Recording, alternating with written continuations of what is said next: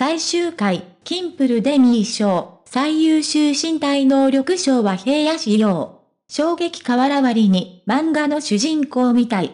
ご視聴ありがとうございました。素早く最新情報をもらえるようにチャンネル登録ボタンをよろしくお願いいたします。ありがとうございます。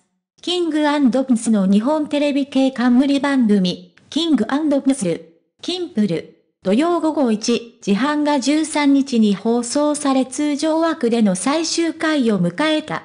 最終回は過去66回の放送から選ぶ爆笑名場面と未公開シーン特集、キンプルデミー賞が企画された。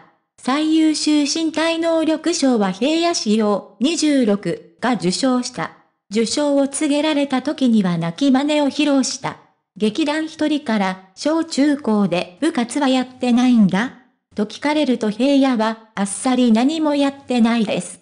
さらに一人から、やっていたら大谷翔平になってたんじゃないの？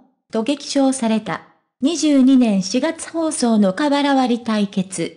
通常とは違う、振りかぶらないで拳一つ分の距離から打撃を放つ超難易度の技、寸慶、寸慶を披露。瓦割り初挑戦で全部の瓦を割った。マックの劇団一人から漫画の主人公だね、と絶賛された。同11月放送のキアヌ・リーブス選手権では自分に迫り来るボールをリンボーの要領で避けるゲーム。そこでも平野は驚異的な身体能力を見せた。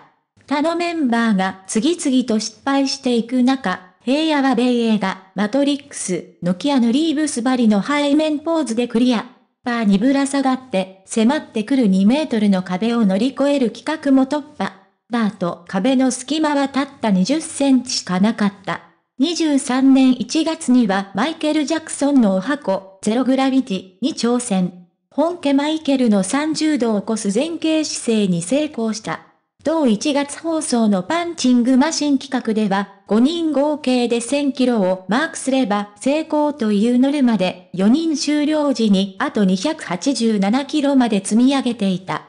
最後に右腕で豪快にパンチをした平野は288キロをマークし、見事1001キロで突破に導いた。キングプンスは昨年11月、今年5月22日をもって岸優太27、平野、神宮寺優太25が脱退し、順次ジャニーズ事務所から退場すると発表。CD デビュー5周年記念日である同23日からは長瀬廉24と高橋海人24の二人体制で活動する。21年5月から特番が始まり、22年1月からレギュラー化。